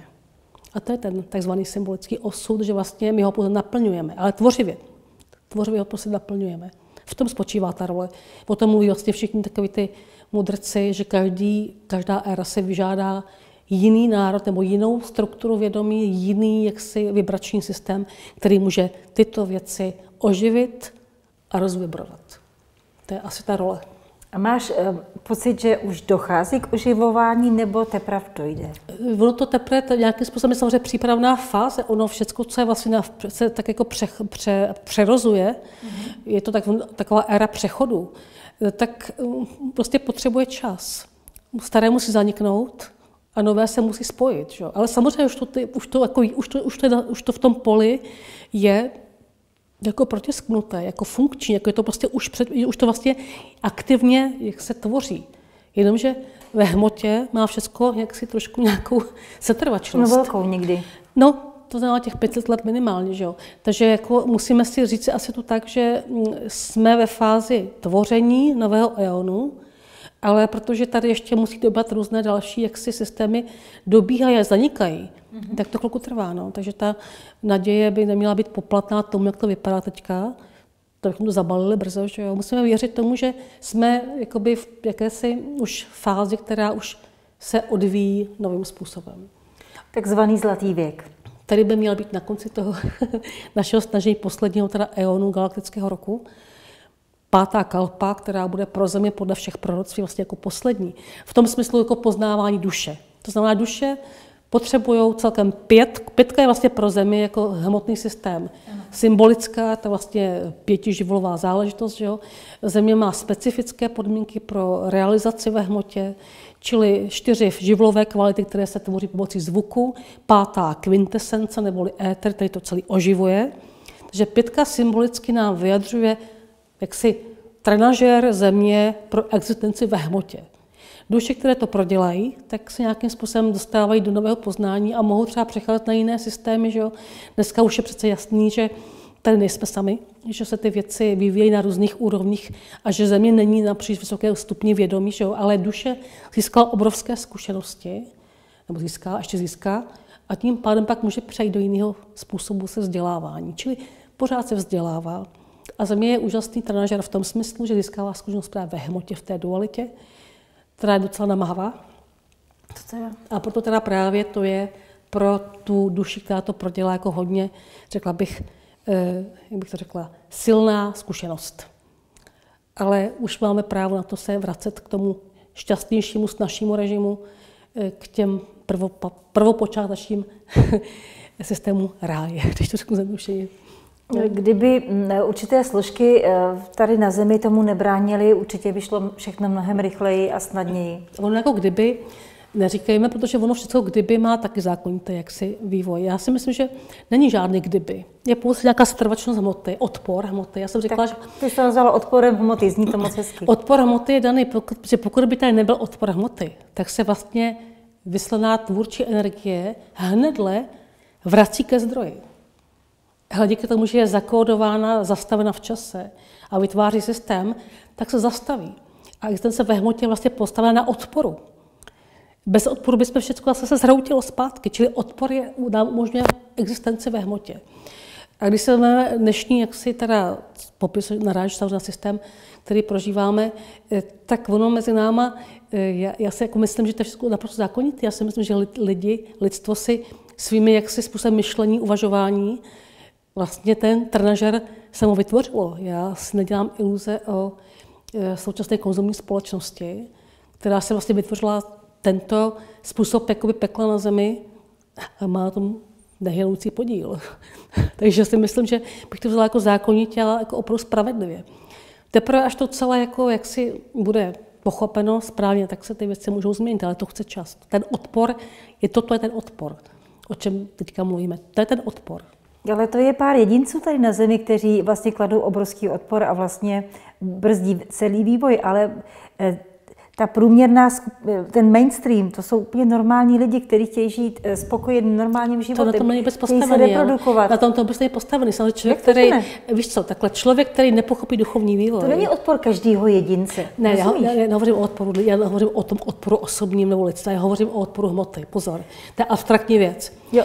To, to bychom se zase dostali do nějakého, do nějakého takového trošku jakoby zmatení pojmu. Jo? Ne, já to chápu tak, že člověk, převážná část lidstva je dneska konzumní preferuje formy vědomí, jak to byla řeč minule, že jim stačí bohatě ta čtyřicátá úroveň to konzumního způsobu života. Chce se prostě rozmnožovat, chce něco zažívat, cestovat a tak dále, chce být zdravý. Naprosto v pořádku. No jo, ale takovéto lidstvo se velmi snadno dokáže zmanipulovat. No. Takže jde o to, že pokud to vědomí je takhle rozvinuté, a to lidstvo se nechá zmanipulovat, neboť neusilovalo o další prostě rozvoj vědomí, co tu mám říct? to není omluva pro to lidstvo, že se chce jenom prostě žít. Na zemi jako se žije s nějakým smyslem pro duši. Ale pokud ta duše je jaksi zapouzřená v nějakém konzumu, duše je jestli ezoterní nebo hmotném, no tak co ta duše může dělat? Musí počkat, až se znovu bude inkarnovat. tak trošku urychlí. No, se probudí. No, takže ono to je celkově zákonité. Já se jako říkám vůbec nepodivuju tomu současnému jaksi stavu. Ten stav si list vlastně vygenerovalo, vytvořilo samo. To, že to je zneužito, ten stav mysli, to je druhá věc. Že to je o tom já právě mluvím. No je, ale za to, chápeš to, kdo je teda, co je dřív, vejce nebo slepice? Mohla by někdo zmanipulovat lidstvo vědomé? Nemohl. Takže lidstvo nechtělo duchovně růst tak se zasloužilo o takovýhle prostě, takovouhle zkušenost. No, to je všechno zákonité, já to nechci nějak obhajovat nebo na to tím jako souzní, to vůbec ne, ale rozumím tomu. Jako, pro mě to není, není nesrozumitelný. A já si nějak nestěžuju, eh, protože Česko je postavené na kosmických a božských zákonech a my je nemůžeme kritizovat přece. Oni nás, tak, oni nás přesahují. No, když to vezmeš rovně lidského, tak můžeme. Že jo. Ale mám že by se, když vystoupí z toho zkušenostního pole toho člověka, jako ve hmotě toho jedince, a když to rovně duchovní, a díváš se to s optikou teda abstraktní, tak je to všechno strašně zákonitý. Já bych s tím vůbec nepolemizovala. Nelíbí se mi to, jak s tím mám dělat. Můžu s tím dělat to, že sama v podstatě inspiruji a dělám nějaké návody, způsob, jak se třeba k tomu postavit, ale eh, no to je jedno, to bych se dostala do nějakého konkrétního návodu. Já nejsem, někdo dává někomu návody, to není moje role. Prostě inspiruješ. já to tak, Předáváš informace, Já jenom předávám nějakému, člověka. aby si lidi dokázali ty věci pospojovat prostě po svým, aby se v tom zorientovali a vůbec nepřipadáme ani moc smysluplný dávat nějaký návody ke štěstí. To je, řekla bych, velká spůpnost lidstva, si myslí, že ví, jak na to. Když to řeknu takhle zjednodušeně, teda. aspoň tak to vnímám já. No. Hani, nabízí se tady téma, jaký vliv tady měly civilizace Orion, uh, Sirius, uh, egyptiané s tím často pracovali a nějakým způsobem se o to opírali? A další jiné civilizace, Nibiru, Hmm, tak to jsme teda se dostali do takového úplně zase jiného jako koridoru. Já jsem se bavila teďka vlastně o těch civilizacích, kterými se vlastně vracíme k tomu původnímu. Ty byly na počátku. Na počátku, ale skrze tyto otisky těchto právě, jak o nich mluvíš. Samozřejmě, že každá ta civilizace, která je spojena s nějakým tím kosmickým sektorem, má svoji roli která je důležitá. Ale když se bavíme konkrétně o Orionu Siriu, musíme si jako prvotní informaci říci, a pak to třeba rozvedeme, se budeš příště, Ráda. že to asi bude téma, který je hodně široký. Zase to je původní souhvězdí, nebo původní Orion eh, a souhvězdí velkého malého psa samozřejmě, zase bylo širší, širší hvězdný systém. Takže dneska se ukazuje, že z těchto systémů hvězdných přicházejí jak negativní, tak pozitivní síly. Ale když to vemu jako v tom smyslu vývojovém, vlastně jako učitelé lidstva po katastrofách, tak opravdu se dá říct, že Orion a Sirius je můžeme chápat ty, tyto jaksi kosmické výsadky jako někoho, kdo se snažil zase znovu vrátit lidstvo k původnímu vědomí. Ale je to už trošku jiná kapitola, která vychází ze zkušenosti duality, a jak jsem říkala o tom experimentálním, vlastně, o tom experimentu na Zemi v duálním systému, tak dualita je vlastně nějaká forma dalšího poznávání, která už nesouvisí s těmi původními nejstaršími, kteří vlastně nějakým způsobem eh, tendovali teda k té jednotě, protože vlastně mi překvapuje v těch obřích, těch hrobech obrů jsou dva děkostry, ale přes jsou úplně unifikovaný. Jsou vlastně stejně velký, nemají tam, nejsou tam žádné jako rozdíly, velikost mal, je to vlastně dvě stejné kostry. Jako dva bratři, jestli mi rozumíš. Jo? Mm. Takže není jasné, že to je muž a žena. Jsou to dvě kostry. A jestli na ten otisk na ty labutě, na ty lemury, na tom, eh, ten geoglyf, jakoby na tom mořském mě, tam jsou dva ty eh, bratři, symbolicky dva lidi. Ale se říkáme bratři, to mohlo být bratro žena, že jo? Co já vím. Čili dva univerzální, prostě jaksi vytvořené jaksi, e, obyvatelé na Zemi, kteří jsou, nejsou asi pohlavně rozdělení. Takže já se domnívám, že prvotní civilizace, a já fantazíruju, ale podle těch nálezů koster tam není žádný rozdíl ve velikosti, v subtilnosti těch koster. Já jsem v té knize vlastně popsala, jak vypadají ty e, nálezy obrů na našem území. V této knižce, jo?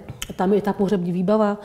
E, dvě kostry, vždycky dvě kostry, vždycky dvě, které se leží pouze tím, že jedna z nich drží krystalovou strukturu, jako by drží takový zvláštní útvar, a v tom jsou nějaké objekty. Zatím nebudu říkat, jaké, to bych tady se dostala z další široký téma. Takže ty kostry obě dvě jsou toto identické, ale jsou vždycky dvě. A když na ten otisk těch geoglyfů na tom mořském dně, že vlastně symbolický triglav, trojediný bůh a božská matka e, z labutě splodí se na pozemského a kosmického, božského a kosmického, tedy Gastor a Pollux, tak se ptám, zda ta původní dualita nespočívala vlastně, že ten jeden jo. je božský mm. a druhý pozemský. Ale pohlaví zřejmě teďka úplně fantazíruju. To je úplně, teďka jsem zaskočila tu otázku, ale já sama si odpovídám teďka úplně nově, poprvé v životě si odpovídám. Takže v podstatě si myslím, že to bude opravdu postavené na dvojici kosmicko-zemské. Ale to není dualita. To je pouze... třeba můžeme i říkat opaprskové nebo druhé já? To těžko takhle nazvat, když to nemám jako proskoumaný, ale v každém případě se dá o dvě kostry. Vždycky jsou dvě, vždycky dvě kostry. To je zajímavé. No právě. Fakt. A tím pádem, když se podíváme ovšem na ten nový eon, teda, té, jako teda toho, těch, jak říkáš, té modré civilizace, o které byla, myslím, minulé řeč, a to jejich způsob teda vnímání a e, výchovy duše, e, tak ty už ale tu dualitu mají jasně vytvořenou, popsanou a veškeré jejich návody, hermetické návody, směřují k reálnému propojování polarit v těle. Takže oni už jsou duální.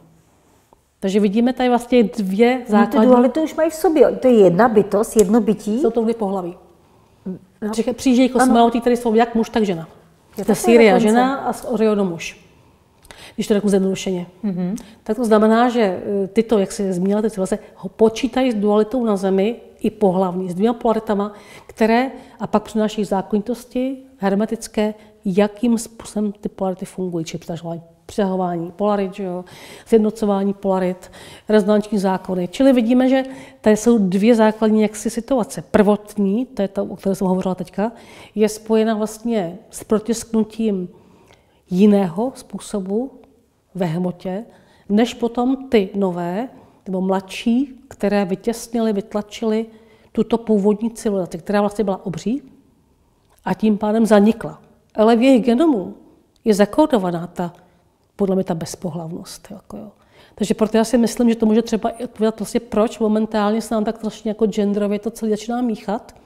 I v tom, i v tom sektoru jako našeho lidstva, že, jo? že vlastně najednou tady tendence tyhle ty polarity jako mazat. Mm-hmm. Je to možná i spojené právě s tím, že se vracíme do toho původního, ale to teďka zase říkám fantazíruju, ale jako, já si myslím, že to všechno jsou nápovědy, kam směřujeme jako lidstvo jakému systému. E, možná tak, jo. Ale takže tyhle ty mladé, mladší, teda kurátoři, mladší civilizace jsou opravdu jako druhou, e, druhou jako etapou civilizační, která je spojená se vznikem duality už. A to se týká právě těchto, jak se zmínila, Orion, Sirius. A ještě si musím uvědomit, že i tyto hvězdné systémy... A plejády. Andromeda. Ty, ty jsou samozřejmě mladší plejády, ale, mladší, ano. ale nesou taky tento systém, jsou vlastně jaksi podpor, nebo pokračovateli. Já ne, ne, nevím úplně přesně, jak, kolik těch, já jsem to neskoumala tak úplně detailně, pro mě hlavně ta modrá cibula, tu ta zkoumám, třeba ty mladší, já úplně jako Plejady Andromeda. Ano. Já nevím, jak je, Androm, jak je Andromeda stará, nevím, ale Plejady moc jsou mladší než egyptské, takže myslím, že pokračují, ano. ale pro mě to zase je něco, co ještě nemám proskoumat, tak to nechci nějak teďka o tom se bavit nějak vědomě. Ale co chci říct v té dualitě, která se tady protiskává nejenom pohlavní systém, dvou pohlaví, ale také plusového a negativního pólu. Takže logicky z těchto souvislostí musí přicházet jak pozitivní tvůrci nebo učitelé, který teda sledují, třeba v Egyptě, tak negativní. A když se podíváme na Atlantidu, která byla velmi agresivní že v druhé fázi, tak ty negativní učitelé zakotvili zřejmě svoje teda poslání na Atlantidě. To byl agresor v podstatě, že který Evropu převálcoval. A v Egyptě se jaksi etablují, neříkám, že v plném rozsahu v těch původních, jaksi eh, v těch nejstarších obyvatelích, ty složky, které vedly k nějaké výuce a rozvíjání vědomí člověka. Takže vidíme, že s tou dualitou přichází už dvě polarity i v tom plus a minus. I v tom, že jsou tady hodní a zlí. Takže samotný Orion nám tady dodává výsadky jak pozitivní, tak negativní. A to všechno souvisí s tou polaritou plus minus. Aby ta dualita byla funkční, musí mít vždycky ty póly vyváženy. Takže naše šance, abychom vyšli z tohoto boje polarit, je návrat k jednotě. Proto máme taky tu tendenci k těm prvotním civilizacím, protože skrze ty učitele duální. Že? Prostě pro nás, my nemůžeme prostě projít, aniž bychom načerpali moudrost Egypta. Takže ta linie je jasná. Egypt, Egypt, pozitivní Egypt, myslím, ten nám tvoří mezičlánek, mezi poslední vlastně, takže slované, Egypt, praslované. To je mezičlánek. To jsou poslední kurátoři, kteří se zasloužili o rozvoj lidského vědomí. Já jsem o tom mluvila minule, že jo? Takže já vidím jasnou jako línii duchovní, červenou niť, nebo modrou niť, to už jednak chceme, která je souvisí Lyra, takže Orel souhvězdí, ty čtyři souhvězdí, eh, pak nějaké bojůvky, samozřejmě kosmické, které vedly k dualitě. Další mezičlánek, modrá civilizace, Sirius, Egypt, pozitivní teda jaksi formy. A potom tedy slované v tom smyslu, tady se ještě do toho prosím tě dostává jedno, teda důležité souhvězdí, asi o něm budeme mluvit příště, souhvězdí jednorožce, který už je vlastně vyobrazen na těch geoglyfech, na tom dně té Lemurie, nebo ty dva bratři jedou kam na jednorožci. Jednorožec nám přináší dualitu. Jednorožec, vlastně symbolický roh, nám říká, že v jednorožci souhvězdí se nalézá, nalézají jisté hvězdné systémy, tvůrčí mlhovin, které nám na Zem přinášejí dualitu. To je obrovská kapitola dualita na Zemi, možná můžeme o tom promluvit příště. Určitě, to je obrovská ráda. kapitola, která souvisí právě s těmito souhvězdími, nejenom s Orionem Sirem, ale i s tím souhvězdím jednorožce a potažmo potom dalšími, mhm. které tvoří ten negativní systém. Dualita má vždycky plus a minus. My s tím musíme počítat. Je to zákonitý. Nemá co to ani kritizovat. Tak to je. Ze zpátky do jednoty jedině návratem ke kořenům našich moudrých předků. Proto jsem říkala, že jediný způsob, jak nalézt jaksi vnitřní klid, je návrat ke kořenům, odkazu našich moudrých předků, které ku podivu jsou zrovna spojeni právě s tím praslovanským sektorem. Máme to štěstí, že se inkarnovali na správné místo ve správnou dobu. Jak ty bys řekla, to přece není náhoda. Jasně, to ne, no. Hani, já bych chtěla moc poděkovat. Eh, je to velká inspirace pro nás. A myslím, že diváci teď budou mít o čem přemýšlet. Mm. A těším se moc na příště, mm. protože to bude pokračování eh, toho všeho mm. obrovského komplexu informací, který nám tady přinášíš. Já jsem, jako opravdu potě, já jsem opravdu potěšená, že tyto informace, že můj kanál to pojme. Já se považuji za člověka, který vlastně si pouze vy, vytvořil kanál, kterým protéká ta informace a já jsem opravdu potěšena, že ty informace jsem schopna interpretovat. To si myslím, že je ta, jakoby možná moje role. Jinak to, co skrze mě prochází, eh, je jiného původu. to je jasné. Samozřejmě, ale že, že jsi schopna to interpretovat, to eh, sláva mm. Bohu, protože ne, jeden by se z toho zbláznil, kdyby přes něj proteklo takové množství a tak hluboké informace, které vlastně jsou těžko doložitelné. V tom spočívá to úskalí, že pokud není možné doložit, člověk musí být hodně, hodně vnitřně, jako by teda řekla bych tomu, mít v to důvěru v ty informace, aby je takhle dokázal veřejně interpretovat.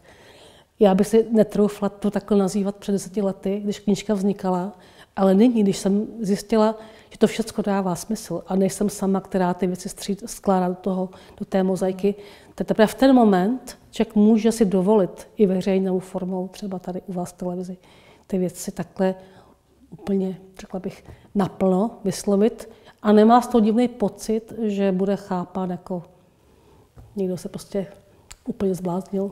Mně se když na tobě líbí, že to nemáš jako nějaký čistý channeling, ale že se snažíš eh, ty důkazy najít přímo ve hmotě, ať teda prostě. jako runové nápisy ve skalách, další jiný prostě vykopávky, další jiný nálezy. Bez těch, bez těch dokladů, to, eh, to je poloviční. Máš pravdu, že lidé stahují, ale já si myslím, že... Ty vlastně to taky, jenom. Stahují, ale ten channeling, který, o který mluvíš, ano. tak ten vlastně ale musí být vždycky vyfutrovaný, podložený ano. realitou. Mm-hmm. A když není, tak se ptejme, čeho se to týká, jaké doby a tak dále. Mm-hmm. Totiž ten časoprostor je pouze iluze. Abych já dokázala, abych dokázala informaci vetknout do časoprostoru, tak ji musím úplně přesně dát do jednoho konkrétního bodu časoprostoru. A pokud to neudělám, tak já nemůžu ty informace nikdy ručit. Mm-hmm. Protože bych si připadala, že stahuji něco úplně vágního. Z jaké doby? Proč? Je to funkční právě teď? Je to prostě otázka umístit do toho časoprostoru. To je podmínkou, aby ty věci mohly být brát nevážně. Další fenomen, který ještě potřeba vědět, každý stahování ještě může být opřeno o nějaké konkrétní třeba e, e, záznamy, kosmické. Jenomže ty všechny knihovny, které, vlastně, které jsou uváděny, zase jsou velmi abstraktní.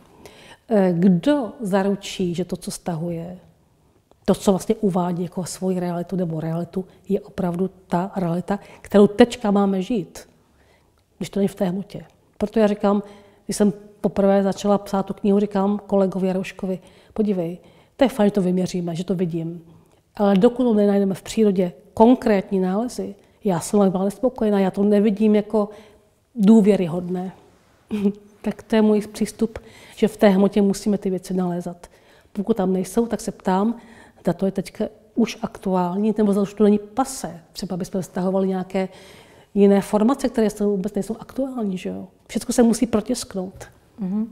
No a není to lehké teda z toho, z, eh, najít v hmotě informace eh, v prapůvodu eh, existence tady na Zemi. Jo. To, to je hodně náročný, eh, velká výzva. Není, není prostě. to jednoduchý, ale čím máš si jedny věci, jak ta synchronicita funguje, že, Samozřejmě. že vlastně pokud máš myšlenku, kterou vlastně žiješ, najednou se objeví po celé zemi další jedinci na nějaké úrovni, není jich moc nikdy, kteří ti vlastně, jako ty, zase potvrdí to, vystymuje najednou ten, mi ta informace o tom eh, panu Čudinovovi, že, a tak dále, najednou se to k tobě dostane. Mm-hmm. Když to je pravdivý, pokud to je nějaká pohádka, mm-hmm tak to není, tak není žádná synchronicita. Mm-hmm. Tak to zapadne, nikoho to nezajímá později.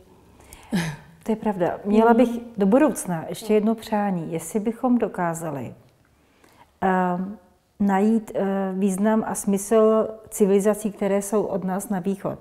Víš co, když vznikla dualita, tak se musela vlastně i tomu přizpůsobit realita na zemi. A my víme, že já tomu Egypté to nazývají krásně. Eh, západ je říše mrtvých a východ je říše živých. Světlo jde od východu na západ, abstraktně řečeno. Slunce vychází na východě, předci máme na severu, čili sever, předci, vzduch, světlo, východ a forma západ. To znamená, že už samotná země, podle toho, kde se narodíš, se prostě hlásí buď to k říši mrtvých, čili k tělesnosti, mm-hmm. anebo k říši živých, to má k duši, k duchu. Takže proto celý západní sektor je vlastně dneska tak konzumní, no protože de facto je odkázaný na svoje bytí na západní polokouli, která šlechtí hmotu. A duch uvadá. Když to na východě máme zase hmotu potlačenou, tam jsou samozřejmě, tím, jak tam vypadá, že jo? ale přednostně se věnují tomu duchovnímu rozvoji. Takže on to je daný zase už tou astrologickou pozicí. Za prvé, kdy a kde se narodíš. Určitě, jenom by mě zajímalo, jestli jsou z jednoho vrhu, jako dualita Evropané... Je, do, dualita z jednoho vrhu, že jo? Akorát má různé projevy. A kam se inkarnuje duše, tak takovou volí roli, buď to pozitivně nebo negativní. Západ je mínusová, formová záležitost, v podstatě ta pasivní, která vede ke konzumu, že, nebo k nějakému materiálnímu prožívání. Východ přednostně ta cit jakoby v šlechtí v ducha. Takže v té dualitě Vždycky jsou z jednoho výsadku, nebo možná z různých, ale zajímají pozici ty duše mm-hmm. podle toho, kde se narodí. Mm-hmm. Kdybych se narodila v Americe, tak mám jiný způsob uvažování a jiný způsob inspirace, než bych se narodila v Rusku. Že? Když to řekneme takhle, tak prostě na východě světlo, na západě tma. Jako v dobrém slova smyslu. Forma, obsah. Mm-hmm. Duch, hmota. Dohromady tvoří celek. I země se přizpůsobila té dualitě, musela. My jsme na tom středu, my tady mícháme. My jsme tady v tom mixeru na rozhraní a to je naše role další, že vlastně tady zrovna děláme ten mixer. To je, a, ten je, a to je velmi těžký, protože míchat hmotu a ducha jako bez navigace a bez konkrétního hmm. jaksi informatoria, to chce hodně zdatné duše. To teda. Takže myslím, že to tady asi tak jako A mít velké srdce, aby, aby se bylo kam se vracet. Mít velké všecko. Ano. Ani já se nesmírně těším na příště. No. Myslím, že to bude dál, víc a víc zajímavý s tebou. Takže moc ti děkujeme. Děkuji mm. i za mhm. diváky, protože mm. já si myslím, že ty mhm. teď mají úkol na, na, na, na další měsíce a já tě pozvu určitě dřív než za několik měsíců. Tak se budu těšit. Děkuji. Já taky moc a děkujeme. Mm. Děkuji.